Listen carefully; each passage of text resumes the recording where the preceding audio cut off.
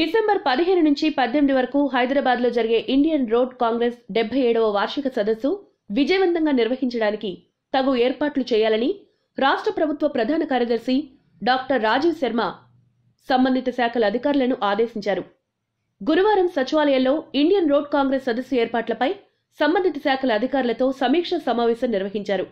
ఈ సందర్భంగా ప్రభుత్వ ప్రధాన కార్యదర్శి మాట్లాడుతూ ఇండియన్ రోడ్ కాంగ్రెస్ సదస్సు సందర్భంగా రోడ్లకు మరమ్మతులు జీహెచ్ఎంసీ ద్వారా హోర్డింగ్స్ పారిశుద్ధ్యం టూరిజం శాఖ ద్వారా పర్యటనలు సాంస్కృతిక శాఖ ద్వారా సాంస్కృతిక కార్యక్రమాలు పోలీస్ శాఖ ద్వారా బందోబస్తు అగ్ని ప్రమాదాల నియంత్రణ చర్యలు ట్రాఫిక్ నిర్వహణ తదితర పనులు చేపట్టాలన్నారు.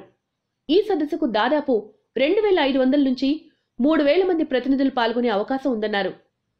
రోడ్లు భవనాల శాఖ ముఖ్య కార్యదర్శి శ్రీ సునీల్ శర్మ సదస్సు నిర్వహణకు సంబంధించి ఇప్పటికే సంబంధిత శాఖలతో సమీక్షా సమావేశాలు నిర్వహించడం జరిగిందని ప్రభుత్వ ప్రధాన కార్యదర్శికి వివరించారు.